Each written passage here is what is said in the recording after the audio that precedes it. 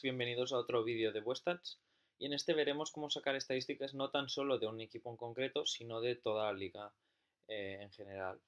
Entonces, como ya sabéis, Buestats eh, saca estadísticas tanto de Leporo, Liga Femenina, eh, Le Plata, Liga Femenina 2, EVA, tenéis información de esto en los otros vídeos.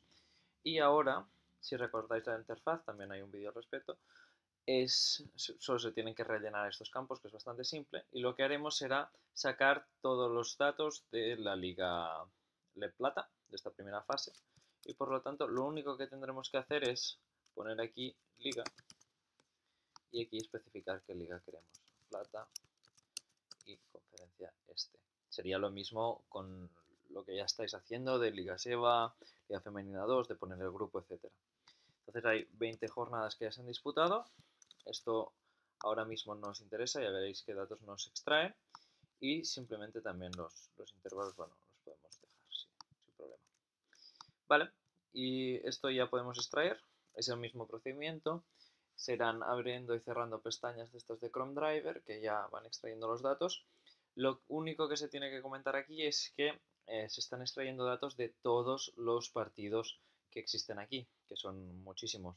Es decir, hay pues 4, 8, 12, 12 equipos, 8 jornadas. Si tenemos 20 jornadas, pues tenemos esto, tenemos muchísimos datos a analizar y por lo tanto tarda un tiempo. Sí, se puede ver aquí que cada jornada va cargando, va cargando y cuando ya estén todos eh, aparecerán los reports.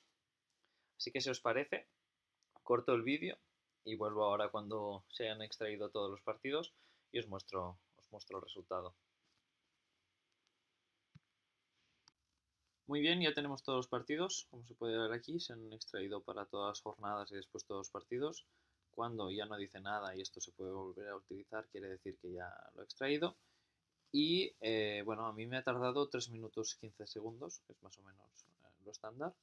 Y ya podemos ver aquí los reports. Vamos a la carpeta, que es, bueno, en este caso era users, web reports, que es la mía. Y aquí tengo todo lo que me habrá extraído. Que otra vez hay el vídeo de cómo exportar, importar estos datos en Google Drive para trabajar más cómodo, pero solo para darles un vistazo y enseñar lo que es.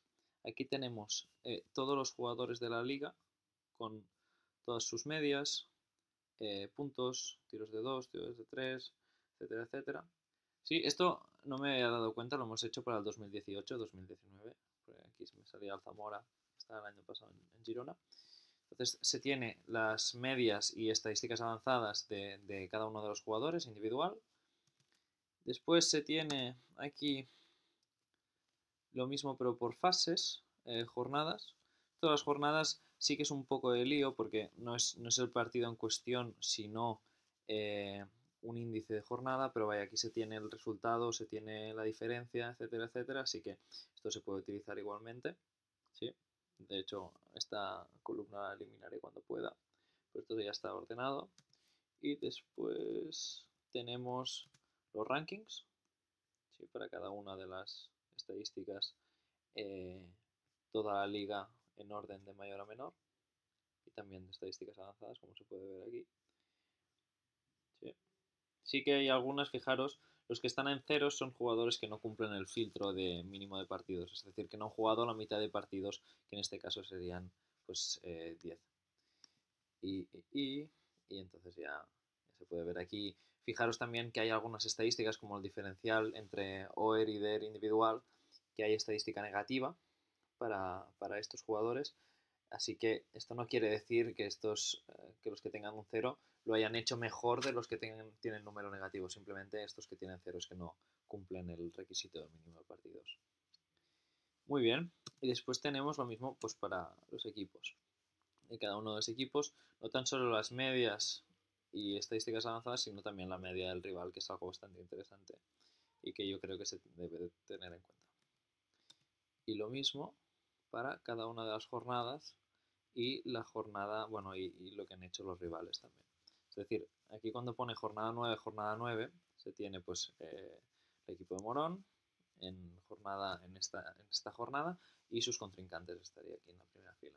Se puede ver todo aquí al final otra vez de qué jornada eh, corresponde. Y ya está, esto es todo. Ahora haremos otro vídeo de los ficheros de configuración para hacerlo todo un poco más fácil. Y si tenéis cualquier duda, me podéis contactar como siempre. Gracias.